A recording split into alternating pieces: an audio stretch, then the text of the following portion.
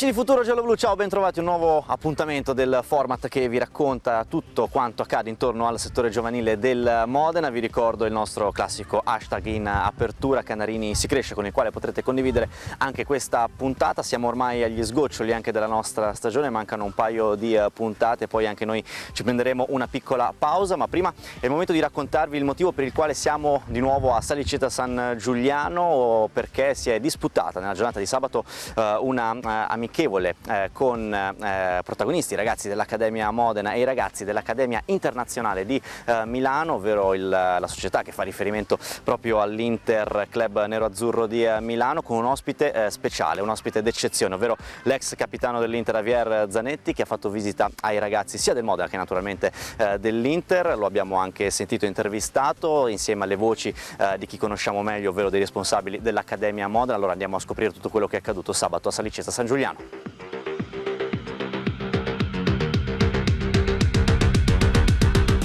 Javier Zanetti, cosa si insegna quando si viene su questi campi? La prima cosa credo che sia lo sport e il valore che tu in primis hai insegnato anche credo ai tuoi figli e anche a noi che abbiamo visto le tue tante partite in tv. No, soprattutto vedere che loro si divertono, che imparano a stare insieme, che imparano i valori de dello sport. Io credo che a questa età loro devono divertirsi tanto, va bene fino a un certo punto il risultato, perché io credo che alla loro età il risultato non conta. Conta che si divertano e che possano imparare i veri valori dello sport. Senti, se ti rivedi da ragazzino, da bambino, ti rivedi un po' in questi ragazzi, che cosa ti viene da pensare? Sì, mi viene da pensare tutta la mia infanzia, quando io ho iniziato a correre dietro un pallone, dove lì iniziavano i sogni che poi per fortuna eh, sono diventato realtà, però mi ricordo la mia infanzia nel mio paese, in Argentina, nel mio quartiere. Senti, cosa diresti a questi ragazzi se ti chiedessero un consiglio su come intraprendere una carriera, non dico ai livelli di Avia Zanetti, ma una carriera da professionista? No, soprattutto le direi la prima cosa è che non smettano mai di sognare. Sognare è bello e soprattutto se veramente loro ci tengono a giocare a calcio che lo facciano sempre con tanta passione. Ti piacerebbe rimettere gli scarpini eh, quando vedi i ragazzi giocare? No, ormai sono passati tanti anni, però eh, credo che ho dato tutto quello che avevo eh, dentro di me per, per, per l'Inter per la mia nazionale. sono arrivato a giocare fino a 41 anni, allora di più non potevo chiedere stata una bellissima giornata di sport, eh, vedere tanti ragazzi che si possono confrontare, correre dietro un pallone. Oggi abbiamo avuto anche la fortuna di avere un ospite in più che è il simbolo del calcio, del, di cosa vuol dire il sacrificio, di cosa vuol dire l'abnegazione, un esempio per tutti che è Javier Zanetti oggi con noi. Il rapporto con l'Inter è nato tra le persone. Dall'anno scorso abbiamo intrapreso un rapporto di collaborazione sia sulla visione dei giocatori ma anche sugli stage con le società affiliate e su un interscambio quotidiano su tutte quelle che sono le problematiche legate alla crescita dei giovani calciatori. Mister, che giornata è stata per i tuoi ragazzi? Beh, è stata una giornata sicuramente molto emozionante e bellissima sotto tutti i punti di vista. Erano super emozionati di aver visto un campione di quel calibro e devo dire che in campo hanno dato tutti l'anima, dal primo all'ultimo è venuta fuori una partita bellissima anche da vedere, secondo me da fuori è stata molto molto molto bella.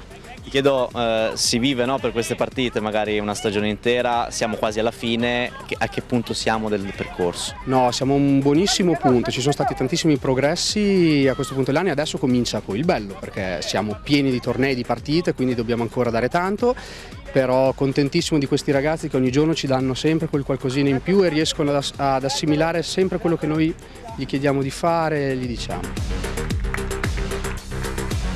A me sembra di capire che sia stata un'annata molto intensa, no?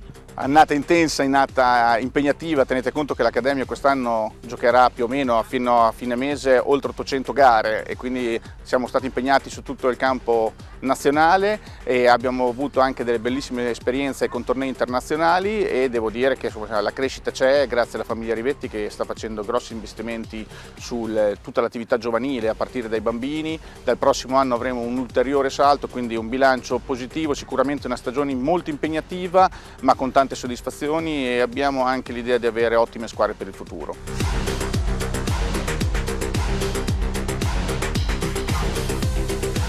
Abbiamo presentato i camp qualche settimana fa, già i numeri erano molto alti, adesso come sono? I numeri sono fantastici, nel senso che abbiamo dovuto ampliare quella che era stata l'offerta perché la richiesta è stata veramente tanta e attualmente rimangono 40 posti sui 400 disponibili, inizialmente erano 350 ma abbiamo allargato, quindi rimangono gli ultimi 40 posti per andare completamente sold out e sarà un'estate bellissima a tinte giallo-blu. Amici di Futuro Giallo Blu, ora ci focalizziamo su quel che sta accadendo per quanto riguarda la categoria Under 15 perché continua il percorso della squadra di Mirko Martinelli nei playoff fase eh, nazionale. I ragazzi di Martinelli hanno superato in gara secca il Napoli 1-0 la scorsa settimana e ora si sono regalati il doppio confronto, pensate con il Milan, tra l'altro nella squadra rossonera Under 15 gioca anche uno dei figli di Zlatan eh, Ibrahimovic, dunque sarà affascinante affrontare il Milan per tanti eh, motivi, per questi ragazzi che stanno davvero costruendo un percorso molto importante in questo finale di stagione. Allora andiamo a scoprire le emozioni e soprattutto anche eh, come si sta preparando la squadra Under 15 a questo doppio confronto.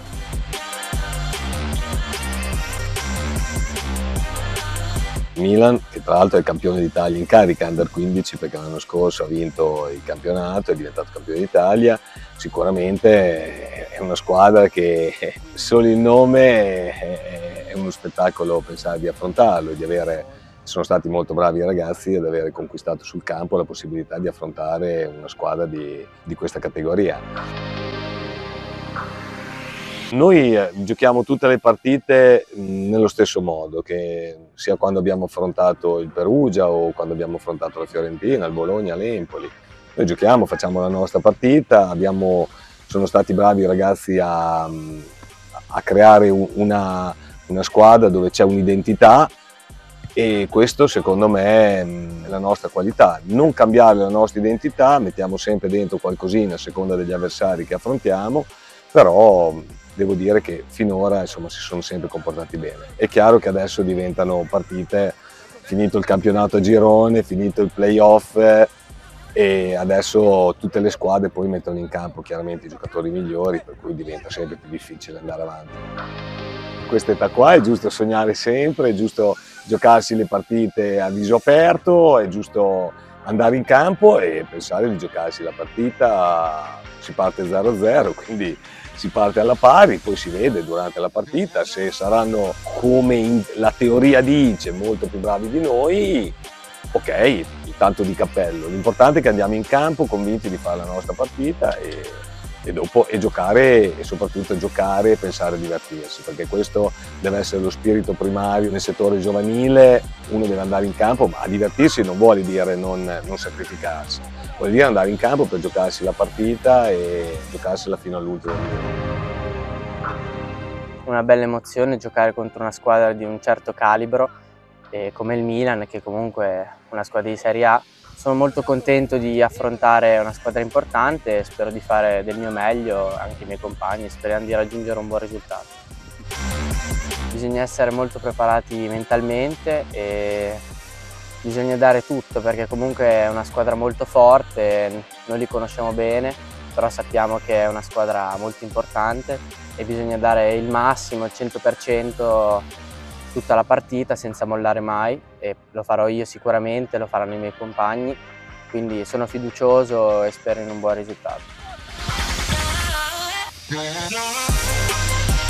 Intanto raccontami quando avete scoperto che sarebbe stato il Milan l'avversario, come avete reagito, se avete non so, una chat di gruppo dove vi siete un po' parlati, quali sono stati i commenti? Sì, sì, esatto. Allora il messaggio eh, l'ha mandato il capitano eh, Cesare Vicini e in cui diciamo che aveva scoperto che il nostro avversario sarà appunto il Milan.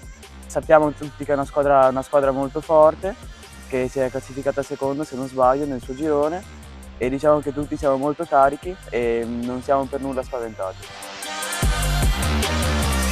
Amici di Futuro Giallo-Blu, anche questo appuntamento volge al termine. In chiusura il nostro hashtag Canarini si cresce. Mi raccomando, continuate a condividere le nostre puntate, a far conoscere anche sul web quello che i ragazzi del Modena fanno eh, quotidianamente. Mancano un paio di puntate al termine della nostra stagione. Rimanete con noi perché c'è ancora tanto altro da scoprire. Nel frattempo, per oggi è davvero tutto. Un saluto, ciao!